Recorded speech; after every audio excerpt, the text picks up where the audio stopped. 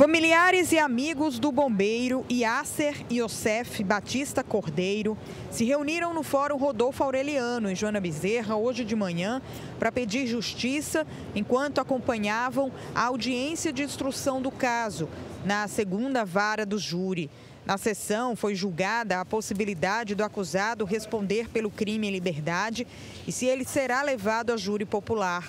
Kellison Henrique Gomes, de 31 anos, está preso desde o dia do crime, quando foi capturado em flagrante e confessou ter assassinado um militar.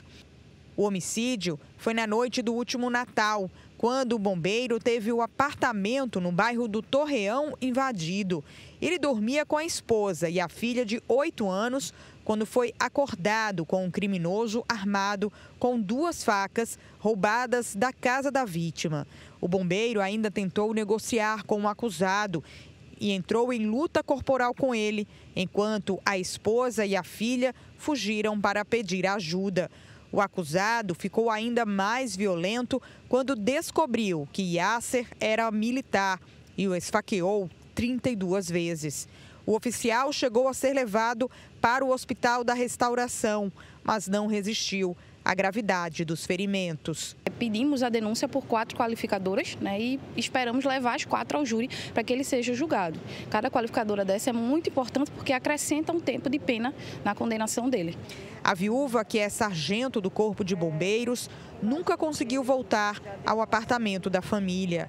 Paula enfrenta, além da dor pela forma cruel com que o marido foi morto, o trauma pelo qual ela e a filha passaram. 32 facadas, 32 perfurações, que até saiu o laudo, nem eu tinha noção da quantidade. Que uma pessoa que é pega em flagrante, que pratica um, um crime desse porte por nada, acho que a gente não precisaria fazer nada, mas se é necessário, aqui estamos. Yasser era pai também de Fernanda, que espera que a justiça seja feita o mais breve possível. É a única coisa que a gente quer, a gente não quer nada absurdo, a gente só quer justiça é, para honrar a vida do meu pai, sabe? Então é isso que a gente espera, é isso que, que a gente quer tanto que se resolva rápido, o mais rápido possível, para acabar um pouco com esse sofrimento.